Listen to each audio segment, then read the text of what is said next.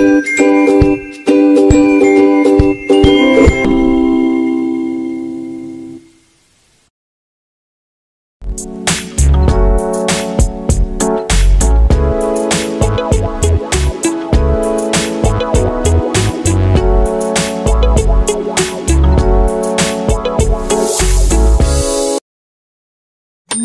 Hello friends வணக்கம் and welcome to Thamarai lifestyle இன்னைக்கு நம்ம சேனலில் விளாக் தான் பார்க்க போகிறோம் என்ன விளாக்னு பார்த்தீங்கன்னா ரொம்ப நாளைக்கு முன்னாடி எடுத்த ஒரு vlog தான். திருக்கார்த்திகை vlog. திருக்கார்த்திகை முடிஞ்சு ரெண்டு வாரம் ஆகிடுச்சு ஆனால் எனக்கு எடிட் பண்ணவே முடியல. என் வீட்டில் வந்து பார்த்தீங்கன்னா மேரேஜ் வீடியோ போட்டுட்டு இருந்ததுனால அதை எடிட் பண்ண முடியலை. அது மட்டும் இல்லாமல் டைமும் கிடைக்கல. அதனால தான் இவ்வளோ லேட் ஆகிடுச்சு ஸோ இன்றைக்கி வந்து பார்த்தீங்கன்னா திருக்கார்த்திகை அன்னைக்கு கொலக்கட்டை செஞ்சு ஆஹ், விளக்கேற்றது அந்த மாதிரி அங்கங்கே கொஞ்சம் வீடியோஸ் எடுத்து வச்சுருக்கேன். அதெல்லாம் கனெக்ட் பண்ணி ஒரே vlog ஆட் பண்ணியிருக்கேன். அது மட்டும் இல்லாமல் ஆச்சி வீட்டில் அதாவது இப்போ கல்யாணம் முடிஞ்சதில்ல. மாமாவுக்கு அவங்க வீட்டில் இப்போ ஃபஸ்ட்டு கார்த்திகைல அவங்க எப்படி செலிப்ரேட் பண்ணாங்கிறத அவங்க கொஞ்சம் வீடியோ எடுத்து அதை அனுப்பியிருந்தாங்க. அதையும் இந்த வீடியோவில் சேர்த்து அதுவும் இந்த வீடியோட சேர்த்து அப்லோட் பண்ணுறேன் ஸோ வாங்க ஃப்ரெண்ட்ஸ் இப்போ திரு கார்த்திகை பார்த்துட்டு வந்துடலாம். கொழுக்கட்டை செய்கிறதுக்கு ஃபர்ஸ்ட் வந்து பார்த்தீங்கன்னா வெள்ளத்தை கரைச்சி எடுத்துக்கணும். அதுக்கு நான் வந்து இன்றைக்கி அரை கிலோ வெல்லம் எடுத்திருக்கேன். அரை கிலோ வெள்ளத்தை தட்டி ஒரு பாத்திரத்தில் சேர்த்துட்டு சும்மா ஒரு ரெண்டுலேருந்து மூணு டம்ளர் தண்ணி சேர்த்துருக்கேன். இந்த வெல்லம் வந்து பார்த்திங்கன்னா நல்லா கரையணும். நல்லா கரைஞ்சதுக்கப்புறம் லைட்டாக இப்படி நுர நுறையாக வரும் பார்த்தீங்களா கொதிச்சு அந்த ஸ்டேஜ் வரைக்கும் வந் வர வரைக்கும் நம்ம அதை கரைச்சிக்கணும். ரொம்பவும் வந்து பார்த்திங்கன்னா கம்பி பதம் அப்படிலாம் எதுவுமே தேவையில்ல. கரைஞ்சி அதில் ஒரு மாதிரி நுர நுறையாக வர ஆரம்பிக்கும். மேலே ஃபுல்லாக ஒரு மாதிரி நுர குட்டி வரும். நல்லா பொங்கி அப்படியே வர மாதிரி இருக்கும் கொதிச்சு. அப்போ நம்ம ஸ்டவ் ஆஃப் பண்ணிக்கலாம். ஸோ வெள்ளத்தை ஃபஸ்ட்டு கரைச்சி எடுத்துக்கணும் நான் இன்றைக்கி வந்து பார்த்தீங்கன்னா முக்கால் கிலோ மாவு அதாவது ஒரு கிலோ மா அரிசி மாவு பாக்கெட்டில் கால் கிலோ மாவு வந்து பார்த்தீங்கன்னா மாவிளக்கு செய்கிறதுக்கு மாவிளக்கு ஏற்று முடியும் அந்த மாவிளக்கு மாவு செய்கிறதுக்காக கால் கிலோ மாவு எடுத்தாச்சு. அது போக மீதி இருக்கிறது வந்து பார்த்தீங்கன்னா முக்கால் கிலோ மாவில் கொழுக்கட்டை செஞ்சோம். ஸோ முக்கால் கிலோ அரிசி மாவுக்கு அரை கிலோ வெல்லம் எடுத்து கரைய வச்சுருக்கோம். வெள்ளத்தை கரைச்சி எடுத்து வச்சதுக்கப்புறம் இங்கே வந்து பார்த்தீங்கன்னா இந்த மாதிரி தாளிப்பு பாத்திரம் எடுத்திருக்கேன். இதில் வந்து பார்த்தீங்கன்னா எள்ளு ஃபஸ்ட்டு ரோஸ்ட் பண்ணிக்க போகிறேன் ட்ரை ரோஸ்ட்டு நான் இன்றைக்கி எள்ளு சேர்த்து தான் கொழுக்கட்டை செய்ய போகிறேன் நிறைய பேர் வந்து பார்த்தீங்கன்னா சிறு பருப்பு இருக்கு இல்லையா அது கூட ரோஸ்ட் பண்ணி கொழுக்கட்டை மாவில் சேர்த்து செய்வாங்க. இன்றைக்கி வந்து பார்த்தீங்கன்னா எள்ளு சேர்த்து தான் கொழுக்கட்டை செய்ய போகிறதால எள்ளு ஃபஸ்ட்டு இந்த மாதிரி ஒரு தாளிப்பு பாத்திரத்தில் ட்ரை ரோஸ்ட் பண்ணிக்கணும். இந்த மாதிரி ஃபஸ்ட்டு ட்ரை ரோஸ்ட் பண்ணி எடுத்துக்கிறேன்.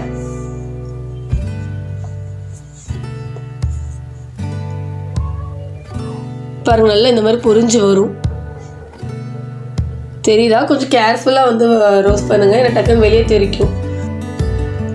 இப்போ வந்து பார்த்தீங்கன்னா எள்ளு நல்லா ட்ரை ரோஸ்ட் ஆகிடுச்சு பாருங்கள் ரொம்ப கரைஞ்சிடக்கூடாது. மிதமான தீயில வச்சு ரோஸ்ட் பண்ணிக்கோங்க. இப்போ வேற ஒரு பாத்திரத்தை மாற்றிக்கிறேன்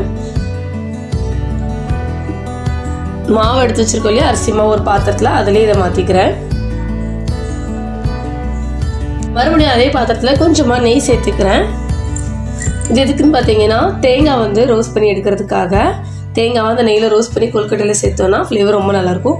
நான் எனக்கு தேங்காய் வந்து பார்த்திங்கன்னா சின்ன சின்ன பற்கெல்லாம் கட் பண்ணி வச்சுருக்கேன். நீங்கள் வேணும்னா குழந்தைங்க சின்ன குழந்தைங்க இருக்க வீட்டிலலாம் தேங்காய்லாம் அப்படி முழுசாக போட முடியும்னு சொன்னீங்க வச்சிங்கன்னா தேங்காய் திருகி பூ தேங்காய் பூ கூட இந்த மாதிரி நெய்யில் ரோஸ்ட் பண்ணி சேர்த்துக்கலாம்.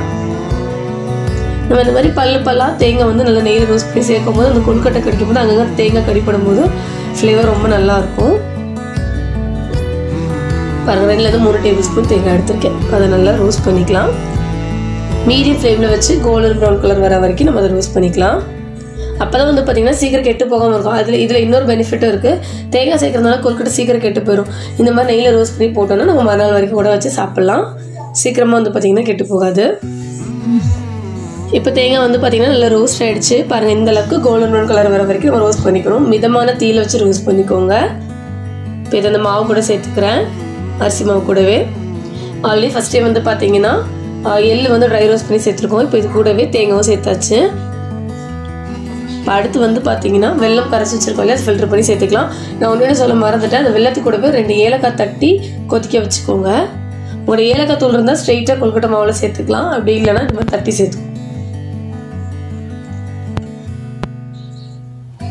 கொஞ்சம் கொஞ்சமாக பார்த்து சேர்த்து செக் பண்ணிவிட்டு மிக்ஸ் பண்ணி விட்டுக்கோங்க. ஃபஸ்ட்டு யாரையும் சேர்த்துற வேண்டாம். இதை நம்ம நல்லா மிக்ஸ் பண்ணிக்கலாம். கரண்டி வச்சு மிக்ஸ் பண்ணுங்க. ஏன்னா எல்லாமே நல்லா சூடாக இருக்கும்.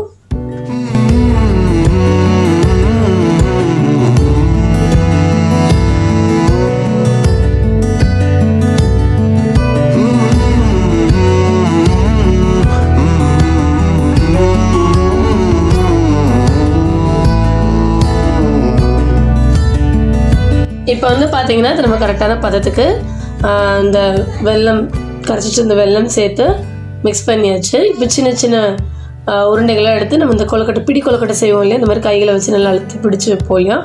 அந்த மாதிரி பிடிச்சி வச்சுக்கலாம். பாருங்கள் இந்த மாதிரி கொழுக்கட்டை ஷேப் பிடிச்சி இந்த மாதிரி ஒரு பிளேட்டில் வச்சிடலாம். தெரியுதா உங்களுக்கு?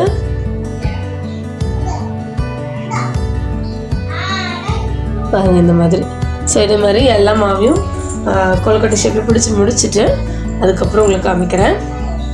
கொழுக்கட்டை பிடிக்க ஆரம்பிக்கும் போதே நான் வந்து பார்த்திங்கன்னா இட்லி பாத்திரத்தில் தண்ணி சூட வச்சுருந்தேன். ஸோ தண்ணி சூடாகிடுச்சு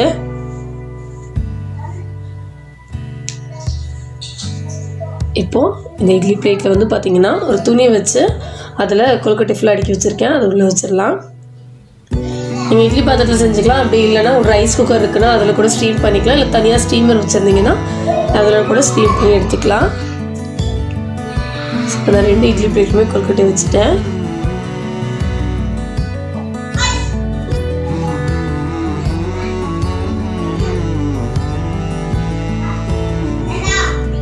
மூடி வச்சிடலாம். இந்த கொழுக்கட்டை அவியட்டும். கொழுக்கட்டை அவிஞ்சதுக்கப்புறம் நம்ம பார்ப்போம். இப்போ வந்து பார்த்தீங்கன்னா ஃப்ரெண்ட்ஸ் நல்லா ஆவி பறக்க பறக்க நம்மளோட கொழுக்கட்டை ரெடி தெரியுதா உங்களுக்கு? ஸோ கொழுக்கட்டை ரெடி ஆகிடுச்சுனாலே நல்லா வெளியே ஆவி பறக்க ஆரம்பிக்கும். லைட்டாக இந்த மாதிரி தண்ணியை வச்சு கையில் தொட்டு பார்த்தீங்கன்னா தெரியும் கொழுக்கட்டை நல்லா வெந்திருக்குன்னு. சுடும் இல்லையா? அதனால அந்த கையில் தண்ணி தொட்டு பார்க்குறது. கொழுக்கட்டை வந்து பார்த்திங்கன்னா ஒரு அஞ்சுலேருந்து பத்து நிமிஷத்துக்குள்ளேயே ரெடி ஆயிடும் மேக்ஸிமம் இப்போ வந்து பார்த்தீங்கன்னா நம்ம சுட சுட திரு கார்த்திகை கொழுக்கட்டை ரெடி இப்போ நம்ம சாமி கும்பிட வேண்டியதான் வேலை பாக்கி. வாங்க அடுத்த நிமிஷத்தில் பார்க்கலாம். ஸோ இப்போ வந்து பார்த்தீங்கன்னா ஃப்ரெண்ட்ஸ் விளக்கு எல்லாம் ஏற்றியாச்சு எப்போவுமே வந்து பார்த்தீங்கன்னா வெளியே அந்த வெளியே தான் விளக்க இந்த மாதிரி பிளேட்டில் வச்சுருப்போம் நல்ல காற்று அதனால இன்றைக்கி இந்த சின்ன வறண்டா மாதிரி இருக்கும் இல்லையா என்ட்ரன்ஸில் அதிலே கோலம் போட்டு வச்சாச்சு. நல்ல மாக்கோலம் போட்டு கதவுலலாம் வந்து பார்த்திங்கன்னா நல்ல இந்த அரிசி மாவில் மஞ்சள்லாம் போட்டு போட்டு வச்சு அந்த வேலையெல்லாம் எல்லாமே அம்மா தான் பார்த்தாங்க. நான் எதுவுமே செய்யலை. விளக்குலேருந்து எல்லாமே அம்மா தான் ஏற்றினாங்க எல்லாம் ரெடி பண்ணி வச்சுருந்தாங்க. விளக்கை ஏற்றி எடுத்து கொண்டு போய் வாசலில் வச்சது மட்டும்தான் நான் எனக்கு வந்து பார்த்திங்கன்னா மேரேஜ் டைம் வந்து கல்யாணம் முடிஞ்ச புதுசில் கார்த்தியில் வரும் இல்லையா? அப்போ விளக்கு கொடுப்பாங்க இல்லையா? அதில் இருபத்தோரு விளக்கு கொடுத்துருந்தாங்க. ஸோ அந்த இருபத்தோரு விளக்குமே வருஷம் வருஷம் அந்த திருக்கார்த்தியில் அன்றைக்கி ஏற்றிடுவோம் ஸோ இங்கே விளக்கு முன்னாடி கொஞ்சம் விளக்க வச்சாச்சு. இங்கே மேலே வந்து பார்த்திங்கன்னா சாமி முன்னாடி வச்சுருக்க விளக்கு வந்து பார்த்திங்கன்னா எப்போதும் இருக்கும் இல்லையா? அந்த விளக்கை ஏற்றி கூடவே மாவிளக்கும் ரெடி பண்ணி மாவிளக்கும் ஏற்றியாச்சு எப்போவுமே திருக்கார்த்தியில் அன்றைக்கி மாவிளக்கு செஞ்சு வைக்கிறது வழக்கம் அதே மாதிரி இந்த வருஷம் மாவிளக்கு ரெடி பண்ணி அந்த விளக்கு ஏற்றியாச்சு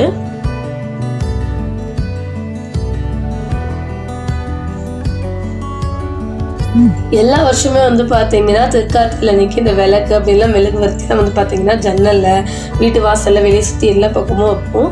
இந்த வருஷம் நல்லா காற்று அது எதுவுமே வைக்க முடியலை. அது மட்டும் இல்லாமல் இந்த வருஷம் நான் எதுவுமே செய்யலை. திருக்கார்த்திகளுக்கு எந்த வேலையுமே செய்யலை.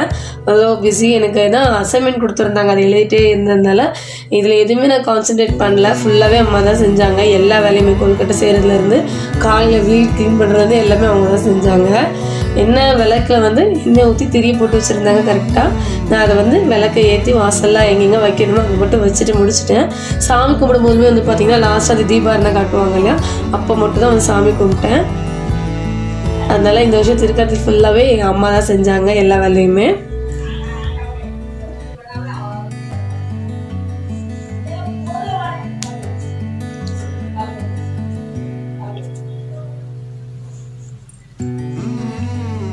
பாருங்க வாசல்லையும் மாக்கோலும் போட்டு வச்சுருந்தோம். ஆனால் காற்றுனால தான் வெளியே வைக்க முடியல. இல்லை இந்த மாதிரி நல்ல ஒரு தாம்பளத்தில் வச்சு எப்போவுமே எல்லா வருஷம் வெளியே தான் வைப்போம். காற்று அவ்வளோவா எரிய விடாது. அதனால தான் வெளியே வைக்கலை. இப்போ வந்து பார்த்தீங்கன்னா சாமி கும்பிட்டு ஸ்டார்ட் பண்ணிட்டாங்க. வீடியோ எடுத்தது வந்து பார்த்தீங்கன்னா வீடியோவுமே அம்மா தான் எடுத்தாங்க. வீடியோ கூட நான் எடுக்கலை. அந்த கொழுக்கட்டை செய்யும்போது நான் கரெக்டாக ஃபிக்ஸ் பண்ணி வச்சுட்டு மட்டும் போயிட்டேன். அது அதோட மே- வேலை முடிஞ்சது. சாமி கும்பிட்றது எல்லாமே அம்மா தான் வீடியோ எடுத்தாங்க.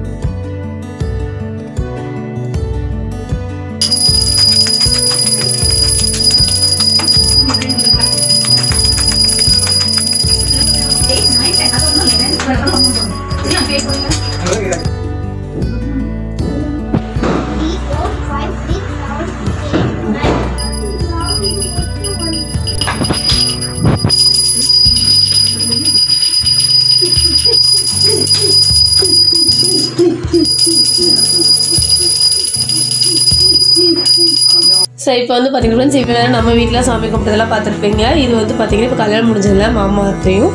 So அவங்களுக்கு வந்து இது ஃபஸ்ட்டு கார்த்திகையில் அங்கே எப்படி செலிப்ரேட் பண்ணாங்கிறத கொஞ்சம் வீடியோஸ்லாம் எடுத்து எனக்கு அனுப்புனாங்க. அதையும் இப்போ பார்க்கலாம்.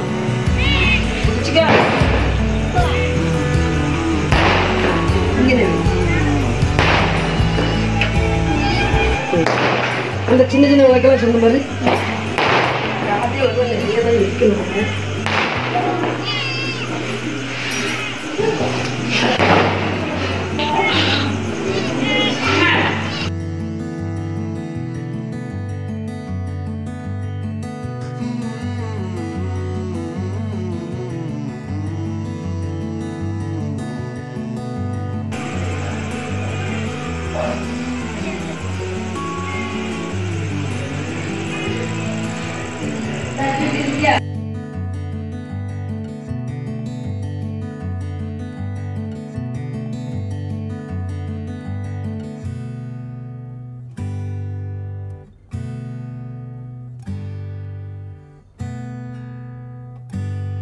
ஸோ அவங்க ஆச்சி வீட்டில் வந்து பார்த்தீங்கன்னா வெடியெல்லாம் வெடித்து செலிப்ரேட் பண்ணியிருக்காங்க.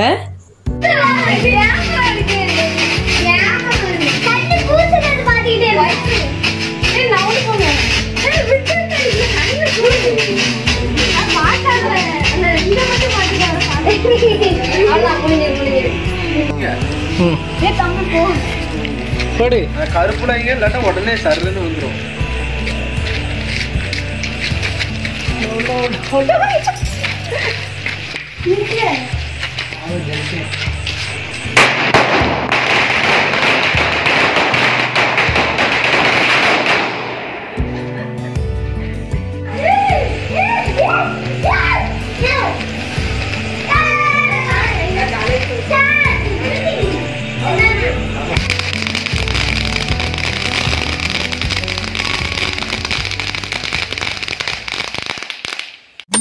அவ்வளோ ஃப்ரெண்ட்ஸ் என்னோட திருக்காட்சி vlog இதோட முடியுது. இந்த வீடியோ கண்டிப்பாக உங்களுக்கு பிடிச்சிருக்கும்னு நம்புகிறேன் பிடிச்சிருந்தப்படின்னா மறக்காமல் லைக் பண்ணுங்கள் ஷேர் பண்ணுங்கள் என்னோட சேனலுக்கு இது வரைக்கும் சப்ஸ்கிரைப் பண்ணலன்னா ப்ளீஸ் மறக்காமல் சப்ஸ்கிரைப் பண்ணிக்கோங்க. தேங்க்ஸ் ஃபார் வாட்சிங் பை டேக் கேர் நெக்ஸ்ட் வீடியோவில் பார்ப்போம்.